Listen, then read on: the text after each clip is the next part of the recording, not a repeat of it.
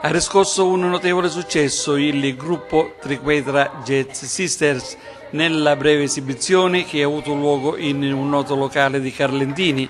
Il gruppo femminile, nato da un'idea di Isabella Balcone, musicista lentinese, si propone di percorrere in polifonia il repertorio jazz a partire dalle sue origini, blues e work song, attraversando poi lo swing 50-60 fino ad arrivare ai giorni nostri con la sperimentazione della body percussion e del vocalize.